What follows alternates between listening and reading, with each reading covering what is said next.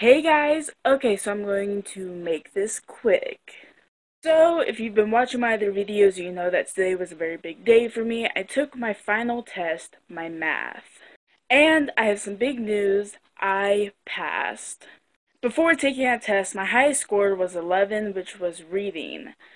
After I got done taking my math, I got the results right away, and I got an 11. It tied with my highest. So yeah, I guess I was worried for nothing.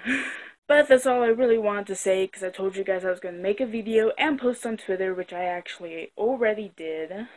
Next week is going to be the same. I'm not going to post any videos whatsoever. Literally none because I'm going to be out of town so I won't have Wi-Fi to upload. I won't have time to film or anything. But the week after, I'm going to be posting a vlog. Well, I guess so. I do have time to film, but I'm just going to be filming the vlog of my entire trip, and it's going to be up the 28th, which is on Wednesday.